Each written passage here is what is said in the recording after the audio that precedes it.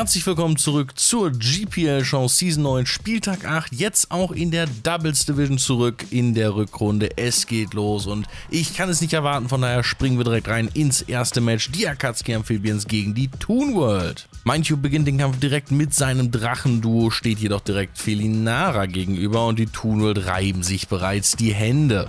Das ist eine Specs-Schallwelle. Da kann mich keiner aufhalten. Doch Tortunator, der Neuzugang der Katsuki Amphibians, blockt die rechte Hand Specs Schallwelle einfach mit Rundumschutz, während Knackrack die Tarnsteine legt. Oh no. Dennis legt das Klebernetz, Wickerwold bezahlt dafür aber auch fast mit seinem Leben und Knackrack kommt zurück aufs Feld, nachdem der Wechsel den Bedroher-Drop resettet hat. Daraufhin holt Tortunato den Hausbruch raus, auch wenn er sein Schlohkraut leider schon an den Bedroher verloren hat. Fruststampfer krittert Felinara weg und die Hitzewelle chippt Lamus an, somit reicht die nächste für den Kill. Turtlenator, warum gewinnst du gerade? Du solltest gar nicht gewinnen. Du hast den Shell Smash nur drauf, weil ein Slot frei ist. Was soll der Mist, Turtinator? Bisbark versucht Tortunator mit Standpauke und Donnerwelle Einheit zu gebieten, aber dank des Rückenwinds von Elfun ist er immer noch schneller, misst jedoch seine Hitzewelle auf Stalobor und droppt deswegen. Der Schaden ist allerdings bereits angerichtet. Trefferschwall killt Stalobor, Mondgewall nimmt Kyurem raus und das Wickerwold kommt nicht einmal mehr in die Tarnsteine rein. Ein beeindruckend starkes 4 zu 0 für die Akatsuki Amphibians. Im zweiten Match des Tages die Volt Wizards gegen die Soulblaze will Razor sich natürlich nach der 0-6 Niederlage in der Hinrunde nicht noch einmal blamieren. Sein Lead schürt auch direkt Angst in Nestflo, der mit X-Bad erst einmal den Rückenwind rausholen will, jedoch wechselt Razor sein Kapaloris sofort aus, während der Orkan nur gegen den Schutzschild kracht. Ist ja super okay. In Runde 2 misst dann der Superzahn der Volt Wizards, jedoch reicht die Pferdestärke alleine aus, um Britsiegel vom Feld zu fegen, bevor es irgendetwas machen kann. Im Anschluss zerstört Grabbits Iceheap Katapultra mit einem Crit, allerdings kann es von Kapaloris revenged werden. Eine weitere Runde, ein weiterer Kill, denn Boreos Orkan besiegt X-Bad. Razor kann nun selbst den Rückenwind aufsetzen und Sneebel mit der Lehmbrühe aus dem Spiel nehmen. Kapaloris wird gesackt, um Boreos Belebekraft zu aktivieren und Viscogons Blizzard chippt Gortrom hart an. Kurelei kann es jedoch in der darauffolgenden Runde mit Diebeskuss killen und auch die letzten zwei Pokémon der Soulblaze fallen kurz darauf. Dieses recht schnelle Match endet mit einem 3 zu 0 für die Volt Wizards. Kommen wir zu den Scherzkeksen gegen die Royal Bluff und Downey hat ja in der Singles Division am achten Spieltag verloren gegen die Royal Bluff und Ele will jetzt natürlich den Doppelsieg für die Royal Bluff rausholen. In Runde 1 steht Durengard im Fokus. Die Erdkräfte von Demeteros aktivieren den Schwächenschutz, während Durengard selbst auf Autotomie geht und die Mogel-Heap-Mons sich halt gegenseitig irgendwie eine Backpfeife geben wollen. Nicer Dicer. Hydronic Double targetet Durengard sofort, dieses geht allerdings auf den Königsschild, während Kikli die Kiora-Beere von Demeteros abschlägt. In der nächsten Runde hat dann Demeteros letzte Stunde geschlagen, jedoch kassiert Durengard die Paralyse durch Wangenrobler. Trotzdem kommt erneut der Königsschild und Entlastung Kikli geht auf Ausdauer, um den Feuerball zu überleben und die Salka-Beere zu triggern. Der ist jetzt richtig schnell unterwegs. Der Gegenschlag, der durch den niedrigen KP-Wert eine Stärke von 200 bekommt, schippt das einwechselnde Milotic an und Togedemaru packt die Schutzstacheln aus, was jedoch effektlos bleibt, als die Fullpara greift. Doch jetzt rennt Ele in Milotics Schutzschild und verliert Kikli, bevor es ein Pokémon claimen kann. Dafür kriegt er aber wenigstens den Kill an der kleinen Elektromaus. Die Kerzalbeere rettet Milotic vor dem Donnerblitz, Libero besiegt fast das Caporiki, allerdings ist Durengard trotz Para schneller als Milotic und kann Libero mit sich reißen, als die Lehmbrühe den Double KO holt. Ah, aua. Pipi stellt sich schützend vor die Wasserschlange, damit sie sich mit Genesung hochheilen und mit dem Eissturm die Speed Control sichern kann. Der Draco Meteor reicht knapp nicht gegen Fuegro aus, Latios lebt aber auch den Eissturm und Milotic ist durch den Bedroher auf plus 2 Spezialangriff. Latios wird rausgenommen und die Lehmbrühe misst Latias, was potenziell entscheidend für die Differenz ist. Das ist der Best Case. Das ist der Best Case, Freunde. Denn in der nächsten Runde sichern sich die Royal Bluff das Match und auch den Doppelsieg gegen die Scherzkekse an diesem Spieltag mit 2 zu 0. Definitiv das spannendste Match des Tages bis jetzt und deshalb freue ich mich auch ankündigen zu dürfen, dass wir Ele genau jetzt gerade bei Heinrich Amster am Mikrofon haben. Heinrich, wie zufrieden sind die Royal Bluff mit diesem Spieltag?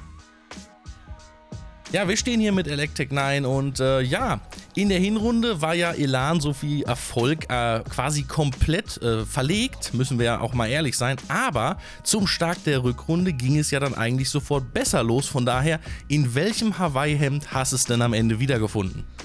Im Grünen tatsächlich. Ich habe da auch noch so äh, Hawaii, äh, Pizza Hawaii Socken.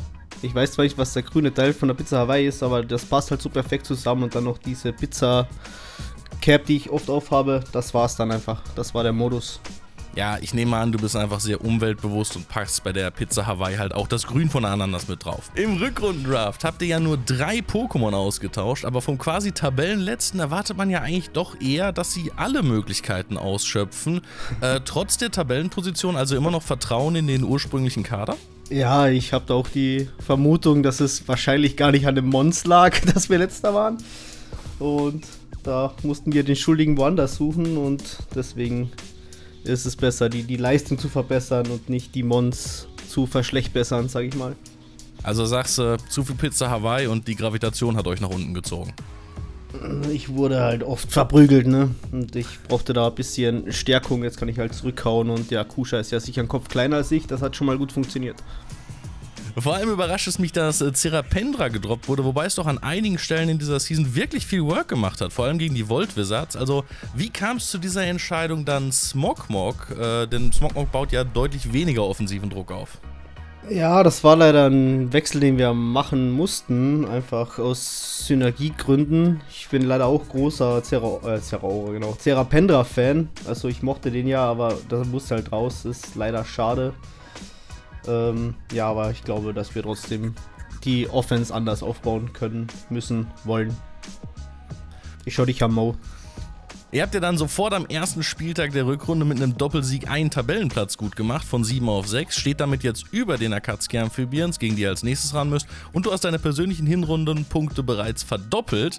Ist das jetzt ein guter Boost für Selbstvertrauen oder wird das eh eher ein kurzes Teambuilding, Smogmog, Giftspitzen, Rest kann zu Hause bleiben? ja, die haben jetzt leider einen Poison Type.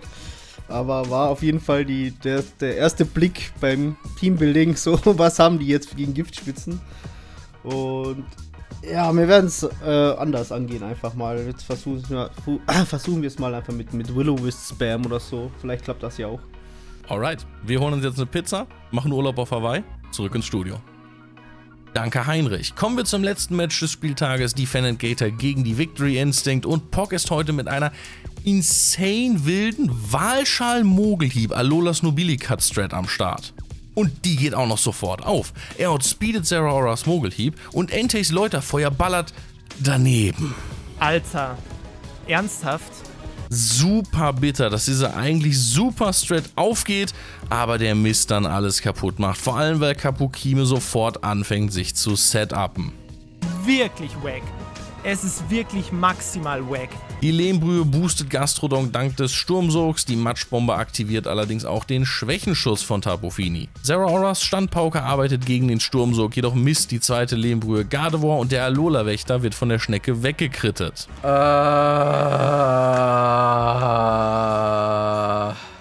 Und ab jetzt läuft es einfach gar nicht mehr für Pock. Bene prediktet das Schutzschild auf Gastrodon und killt Gardevoir. Dann protectet er mit The Root, als der Eisstrahl kommt. Gastrodon geht jetzt wieder aufs Schutzschild, die Victory Instinct fokussieren aber Alulas Nobilicat. Jede Runde die richtigen Predicts. Es ist unbeschreiblich. Es ist wirklich unglaublich. Nachdem Bronzong den Bizarro-Raum rausgeholt hat, passiert etwas, was sich schwer erklären lässt. Von daher schaut's euch einfach selber an. Okay, let's go. Let's go. Komm schon, meine Actionfigur wird jetzt das machen. Komm schon, Bronzong. Du bist meine Actionfigur. Meine. Wir werden jetzt hier einmal in das Subdos Media beamen. Ich habe eine Actionfigur mitgenommen und die Actionfigur wird hier performen. Da, da, da, bin ich, da bin ich komplett bereit, dass die Actionfigur hier jetzt was machen wird. Samas, okay, wir. Wir, wir sind Samas. Danke, danke, danke, danke. Bitte protect mir nichts anderes. Okay, Scanner, Paw perfekt. Wir Media beamen anderen Slot. Bitte, bitte, bitte kein Protect mit dem anderen. Perfekt, Minibeam, komm. Okay, komm schon. Komm schon, Actionfigur. Meine Actionfigur muss da was machen. Komm schon. Du bist nicht umsonst meine Actionfigur. Komm schon. Kosmische Strähle. Äh, Strähle. Kräfte. Genau, meine Kräfte kommen. Die Kräfte, die Kräfte werden immer besser. Energiekraut bereit. Und der Medium und der... Perfekt. Let's go, Bronzong. Du bist hier in Action. Komm, claim diesmal den Kill. Let's go, den Kill für Bronzong. Da sind wir doch. Da sind wir doch! Die Actionfigur killt dann auch noch Terrakium und The Root beendet das Match gegen die sehr, sehr salzigen Gator mit 2 zu 0. Und damit springen wir in die Tabelle, die am oberen Ende wahrscheinlich so sortiert wie noch nie ist. Die Victory Instinct allein nicht mit 36 Punkten auf Rang 1, die Volt Wizards mit 33 auf Rang 2 und die Scherzkekse mit 30 auf Rang 4. Nur drei Punkte dahinter immer noch die Soul Blaze. Änderungen gab es heute tatsächlich gar keine, von daher geht es wie gewohnt weiter. Die Toon World auf 5, Royal Bluff auf 6, Akatsuki Amphibians auf 7 und die Fennant Gator nach wie vor 8er. In der Doubles Division hat sich was getan. Wir haben zwar immer noch Nestflow und Bene ganz oben, aber Mindtube mit einem Riesensprung von 6 auf 3. Mindtube jetzt neutral, 4 Siege, 4 Niederlagen, 12 Punkte, die Differenz auch fast neutral und damit ist er auf Rang 3, denn nach wie vor steht einfach fast jeder in der Doubles Division negativ. Die einzigen, die positiv stehen, Nestflow und Bene. Aber Mindtube auf jeden Fall mit einem Riesensprung. Er überholt sowohl Hydronic als auch OGDNZ und POC Galaxy. Razer auf 7 und Ele, obwohl er die Punkte aus der Hinrunde bereits verdoppelt hat, nach wie vor auf Rang 8. Springen wir also in die Kill-Rangliste und da sehen wir, dass nach wie vor Keldeo auf Rang 1 steht, auch wenn es heute keine Kills gemacht hat, mit 16 Kills immer noch dabei. Rang 2 ebenfalls mit 16 Kills, Nido Queen und Stalobor ist wieder da. Stalobor auf Rang 2 und auf Rang 4 Demeteros in der Inkarnationsform mit 16 Kills. Also die Kill-Rangliste wirklich, alle haben 16 Kills, alle haben 16 Kills und es kommt nur noch auf die Einsätze an. Von daher habe ich so langsam das Gefühl, wenn man die Kill-Rangliste gewinnen will, ist es fast besser, das Pokémon, was oben steht, gar nicht mehr mitzunehmen. Es haben eh alle 16 Kills. Die Killrangliste der Doubles Division recht ähnlich. Keldeo auf 1, Nidoqueen auf 2 und Primarene mit 9 Kills auf Rang 3. Kommen wir zur Auswertung der großen Logo-Abstimmung. Es gab ja zwei Gruppen, die jeweils gewonnen wurden. Jetzt sind wir im großen Finale und wir schauen uns an, für wen abgestimmt wurde. Auf dem vierten Rang die Soul Blaze mit gerade mal 12%. Auf dem dritten Rang die Toon World mit umgedreht 21%. Von daher jetzt die große Frage, wer hat es gewonnen? Wer hat eurer Meinung nach das beste Logo der Saison? Die Volt Wizards oder die Royal Bluff? Und es sind tatsächlich die Volt Wizards. Mit 43% gewinnen sie eindeutig diese finale Abstimmung. Tatsächlich haben sie auch 43% in der anderen Abstimmung, in der Gruppenabstimmung mittlerweile. Die Royal Bluff mit starken 25% auch mit dabei. Von daher Gratulation an die Volt Wizards. Wobei auch jemand in den Kommentaren geschrieben hat, vielleicht ist das irgendwie ausgeartet von wer hat das beste Logo zu wer hat die größte Fanbase in der GPL-Show. Im heutigen Community Poll machen wir mal eine Frage, die mich persönlich tatsächlich sehr interessiert. Und zwar, wie viele Matches schaut ihr so pro Spieltag? Seid ihr wirklich jemand, der versucht, alle acht Matches zu schauen? Also da fasse ich jetzt die Doubles und die Singles Division zu einem Spieltag halt zusammen. Verfolgt ihr nur eine der beiden Divisionen oder schaut ihr nur bei ganz bestimmten Spielern, die ihr halt einfach am meisten mögt? Oder schaut ihr natürlich nur die GPL-Show, weil sie mit Abstand das geilste Format auf YouTube ist. Oh yeah. Ja, aber würde mich mal ernsthaft interessieren, wie viele Matches ihr so wirklich mitverfolgt, denn man hat ja auch nicht immer Zeit, vor allem die Singles Division, alle Matches zu schauen. Da ist man halt gerne mal drei, vier Stunden zugange. Und diese Zeit hat ja vielleicht auch nicht jeder. Von daher würde mich wirklich mal interessieren, wie viele Matches ihr so schaut. Könnt natürlich auch gerne einen Kommentar mit einer genaueren Erklärung dalassen. Das war's aber erstmal für heute. Ich bedanke mich vielmals fürs Zusehen und wir sehen uns wieder zum neunten Spieltag in der Singles Division mit einem neuen Interviewgast. Bis dahin, haut rein.